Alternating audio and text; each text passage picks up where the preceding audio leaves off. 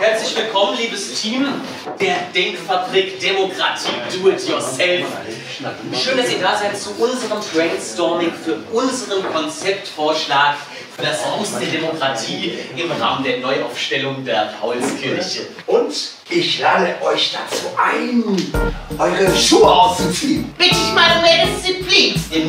Wirklich mal weitermachen. Ich frage mich die ganze Zeit, warum die Paulskirche Paulskirche heißt. Sie könnte doch auch Kevinskirche heißen. Ich krieg die Krise. Herrlich, dieses Universumgefühl. Die Jury braucht von uns extrem viel innovativen Ideen-Output. Jetzt sagen Sie doch mal, dass Sie ein Mann sind.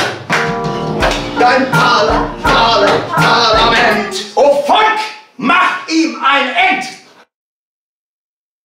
Möchte darauf hinweisen, dass das Haus der Demokratie fehlt.